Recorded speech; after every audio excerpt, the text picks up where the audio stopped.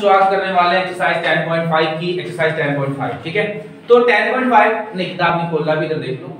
तो 10.5 शुरू करने से पहले कुछ कॉन्सेप्ट है वो क्लियर होने चाहिए आप लोगों को। तो सबसे पहले समझते हैं क्या क्या कॉन्सेप्ट है क्या क्या टॉपिक है। देखिए जरा। देखिए। ये सर्कल होता है। सेंटर है। ठीक। आपको चीज़ समझना है कि सेंटर पर सर्कल के किसी भी सेंटर पर ये जो सेंटर है ना यहाँ पर जो एंगल बनता है ठीक है? वो डबल होता है उसके अब उसके जो सामने वाले एंगल का। कैसे सामने वाले एंगल का? मान लो यहाँ पे कोई एंगल 100 डिग्री का है है ना? तो ये एंगल डबल होगा इसके इस वाले एंगल का। डबल होगा। क्या होगा? डबल ठीक है ना? डबल कैसे? मान लो ये 100 है तो ये कितने का होगा? पचास। पचास ये डबल है ना? भाई बीच वाला डबल है ना? द एंगल हाँ ठीक है मेरा फ़ोन आ गया। ठीक है? क्या है? ध्यान समझना जो एंगल बनता है हमारे सर्कल के सेंटर पर वो क्या होता है? डबल होता है उसके अपोजिट या रिमेनिंग पार्ट में जो एंगल बनता है उसका। यानी कि यहाँ पे 50 डिग्री तो यहाँ पे कितनी का होगा ठीक है? क्लियर एक और देखते हैं जरा फिर से। मान लो ये इस तरीके से बन रहा है यहाँ पे। ठीक है जी? हम्म। यहाँ पे 70 डिग्री है तो ये कितने डिग्री का होगा 140 कितने का होगा 140 क्लियर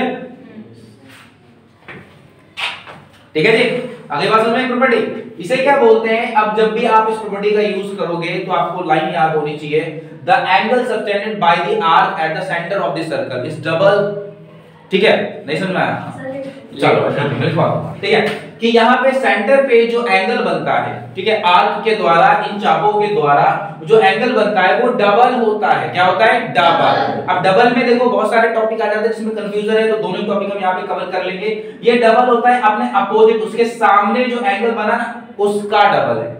मान लो यहाँ पे पचास तो यहाँ पे क्या होगा अब ऐसे इधर सत्तर है तो यहाँ पे क्या होगा एक सौ चालीस क्लियर अब इसी के ऊपर एक चीज़ ध्यान से समझना जरा एक और एग्ज़ाम्पल लेके चलते हैं। मान लो यहाँ पर ठीक है यहाँ पर x है और यहाँ पर है 100 अब बताओ x की वैल्यू क्या होगी? हम्म? सत्तर? सत्तर होगी? सब सब क्लियर है सत्तर? हम्म। नहीं सत्तर चालीस क्यों? नहीं चालीस भी नहीं होगा। चालीस भी होगा। छह सिक्सटी होता है एक पॉइंट में तो रुको चालीस हाँ। जाओ सर देखो भाई जरा कॉन्सेप्ट समझना। Angle subtended by the arc at the centre is double मतलब जो सेंटर पे जो एंगल बनता है ना वो डबल होता है उसके रिमेनिंग पार्ट का रिमेनिंग पोर्शन का। लेकिन आपको यहाँ पे ध्यान रखना है दोनों ही क्वेश्चन के अंदर ये 70 है। तो इसके सामने अपोजिट डायरेक्शन में कॉरस्पॉन्डिंग एंगल है ये 140 है ना? कॉरस्पॉन्डिंग यानी इसके जैसे ये नीचे की ओर है तो ये भी नीचे की ओर ये ऊपर की ओर है तो ये भी ऊपर की ओर। है ना?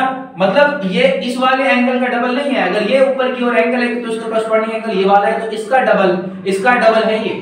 है ना? अगर तुम यहाँ पर ये वाला एंगल लेते हो तो भैया इसका ये थोड़ी नहीं होगा। ये किसका डबल होगा? इसका। इसका। ये वाला जो है इसका डबल होगा एक्स वाले का। तो हमें ये एंगल पता करना है। तो भाई पता कैसे करेंगे? सेंटर के एंगल जो बनता है चारों ओर। कितने डिग्री का होता है? 360 60 डिग्री का होता है। भाई 360 में से 140 घटा लोगे। ये वाला एंगल आ गया। सिंपल सी बात 360 में से 140 घटा देंगे। 120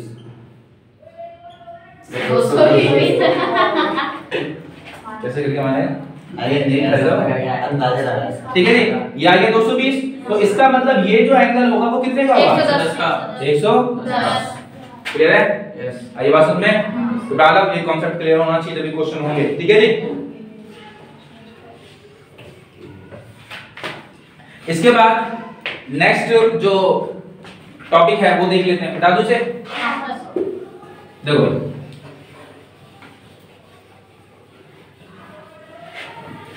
देखिए सेकेंड है।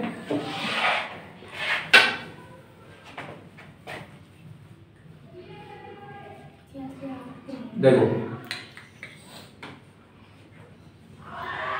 Angle in the same segment of a circle are equal हमेशा ध्यान रखना। Angle in the same segment of a circle are equal यानी कि एक ही वृत्तखंड में बने हुए जो कोण होते हैं वो हमेशा ही बराबर होते हैं। बराबर का मतलब क्या है जी? दोनों सेम सेम होंगे। जैसे कि देखो ये ऊपर वाले हिस्से में ये दोनों ही एंगल बने एक 30 डिग्री का है और एक x है।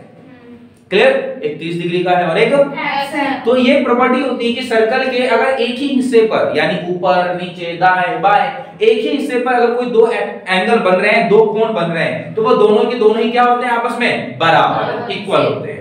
क्लियर उदाहरण समझते जरा। अगर ये 30 है तो ये भी कितने डिग्री का होगा?